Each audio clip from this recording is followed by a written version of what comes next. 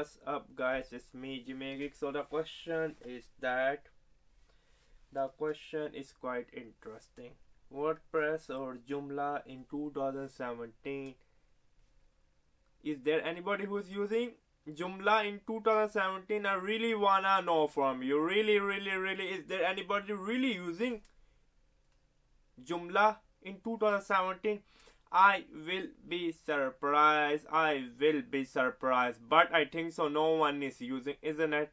So the direct answer is WordPress. Go for the WordPress because there's nothing better than WordPress. You can hate me, you can like me, but you cannot disagree with me on this one.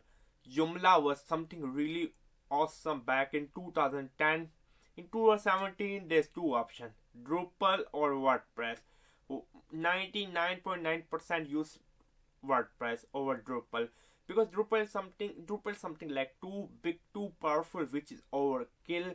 Drupal is awesome for making a news type website where you're going to make bazillion posts every day or whatever or some kind of really robust i mean you want to use for some kind of banking application built on drupal. The security level is super high. The text on taxonomy is awesome I mean Drupal is awesome.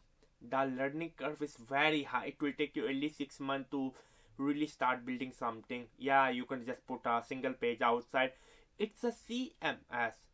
It's what you see, what you get, but still the learning curve is really very, very high compared to WordPress. Now in 2017, after the I mean the WordPress uh, 4.0, so many issues was fixed people are building e-commerce store on WordPress. You cannot go wrong with WordPress. WordPress. If you have any questions, check the link in the description box below. Bye.